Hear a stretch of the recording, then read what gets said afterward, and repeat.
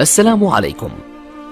لا تنسوا الإعجاب بالفيديو والاشتراك في القناة تشجيعا لنا لنستمر بنشر المزيد إن شاء الله. إن أعجبك الفيديو لا تنسى الإعجاب والاشتراك في القناة. أيها الأحباب الكرام سؤال يطرح عن قضية الفدية. ما هي الفدية؟ ما مقدارها؟ الفدية أيها الأحباب الكرام هي عوض يقدمه الصائم الذي عجز عن الصيام. من هو الصائم الذي يعجز عن الصيام؟ قد يكون الشيخ الكبير والمرأة العجوز قد تكون آه، المرأة الحامل والمرأة المرضع وقد يكون كل من هو عجز عن الصيام. والفدية نوعين هناك الفدية الكبرى والفدية الصغرى. الفدية الكبرى هذه خطيرة هي الذي أفسد صيامه عمدا عليه الفدية الكبرى. وهي عتق رقبة مؤمنة أو صيام شهرين متتابعين أو إطعام ستين مسكينة أما الفدية الصغرى فهذه العلماء وقعوا في اختلاف فيها في تقديرها. منهم من قال هي صاع من طعام منهم من قال هي نصف صاع من طعام بل منهم من قال هي ربع صاع من طعام. فالمقدار هو يختلف. ولكن الرأي الراجح عند جمهور العلماء يعني وجبة طعام تكون كافية. الإمام أحمد بن حنبل رضي الله عنه لما سئل عن امرأة أكلت رمضان أفطت في رمضان كله 30 يوما. فلما سألته ماذا أفعل؟ قال اجمعي 30 مسكين وأطعميهم. قالت مما أطعمهم؟ قال من أوسط ما تطعمون أهليكم. والمرأة قالت نحن مجمل طعامنا خبز ولحم وخضروات. قال أطعميهم خبزا ولحما وخضروات مما تأكلون. فالغالب أن العلماء يقولوا بأن الفدية يكون مقدارها هكذا. آه، لكن الذي يقع فيه الاختلاف هل يمكن أن نخرج الفدية نقدا؟ في الفقه المالكي والفقه الشافعي لا يجوز إخراج الفدية نقدا. لابد أن تكون إطعاما. وقد قال ربنا عز وجل ففدية من صيام إلى أن قال أو, أو طعام مسكين سماها طعام. فتقيدا بحرف القرآن وظاهر القرآن الكريم فالشافعية والمالكية هذا المذهبين قالوا بأن لابد أن يكون الكفارة من الإطعام ليس من النقد. لكن الحنفية قالوا نقدا نقدا. لماذا؟ قالوا بأن النقد هو أنفع للفقير وأيسر على الغني. أنفع للفقير لأن الفقير إذا أخذ أخذ المال ممكن أن يشتري به على على مزاجه وعلى رغبته. يشتري ما يشاء لا تفرض عليه ماذا يأكل. وهو أيضا آه، أيسر للغني. فالغني من الأحسن له أن يقدم مالا عوض أن يبحث في الأسواق ويحمل الأثقال وينتقل من مكان إلى مكان. هذا الفكر الحنفي الفقه الحنفي قال إخراجها نقدا هو أولى. بعض العلماء المعاصرين قالوا وفي عصرنا هذا كان من باب أولى لأن الناس كثروا والمصالح تشعبت والناس في ظروف خاصة فإخراجها نقدا كان أفضل. فكم مقدارها نقدا؟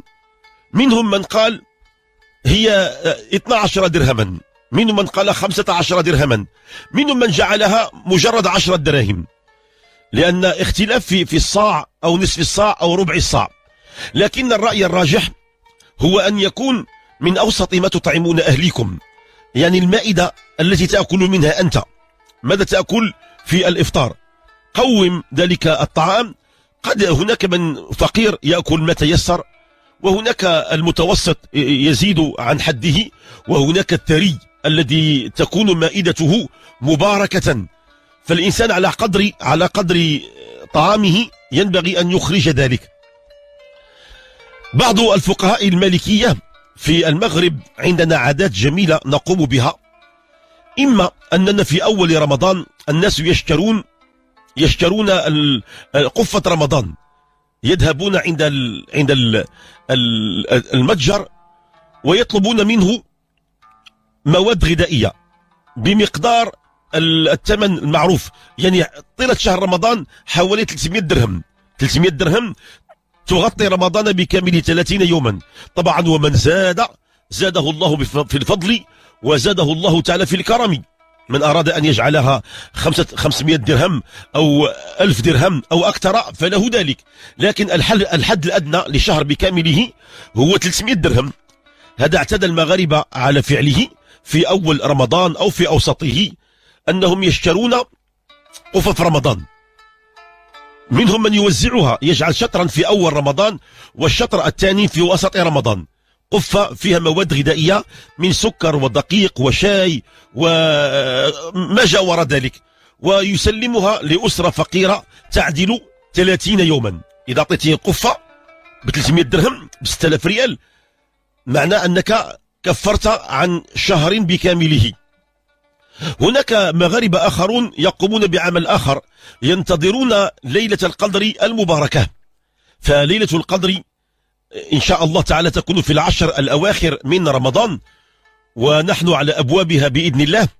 فبعض المسلمين يقومون بطهي الطعام. الطعام المفضل عند المغاربة في الصدقات هو الكسكس. فيصنعون أطباق من الكسكس. طبق كل طبق يكون متوسط أو كبير يجمع 8 إلى 10 إذا كانت قصعة كبيرة كتجمع 10 ديال الناس.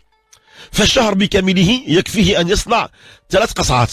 ثلاث قصعات ويضعها أين؟ في الغالب الناس يضعونها في المساجد. فعند أبواب المساجد كان يتجمع هناك الفقراء والمساكين وعابرو السبيل ويقيمون ليلة القدر بكاملها ويشعرون بالجوع وبالعطش فلا يضطرون للعودة إلى بيوتهم أو يبحثون عن طعامهم فإن الناس يأتون بقصعات الكسكس. ومن هؤلاء الذين آه، عندهم دين رمضان لابد أن يخرجوا الفدية فيخرجونها من الطعام الكسكس فالطريقة هي تقاليد وعادات نبيلة والصواب أن كل ما فعله المؤمن صحيح بإذن الله.